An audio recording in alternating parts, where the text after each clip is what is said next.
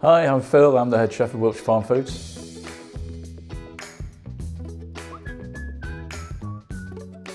Uh, summer promotion it's probably the biggest summer promotion that um, we've ever undertaken, certainly in the 15 years I've been with Wiltshire Farm Foods.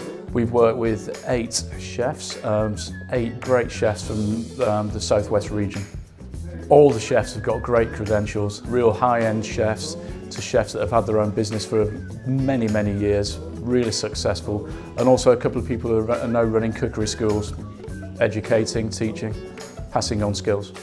There's a great mix of dishes in this range. Um, an absolutely fantastic um, lamb dish based on a navarin of lamb, um, through to a, a, a North African tagine, a chickpea tagine, which, is, which happens to be vegan. It tastes fantastic, really aromatic, spicy. I, I think the customers will love these dishes. The quality of the dishes are absolutely fantastic and as always the flavours are, are amazing.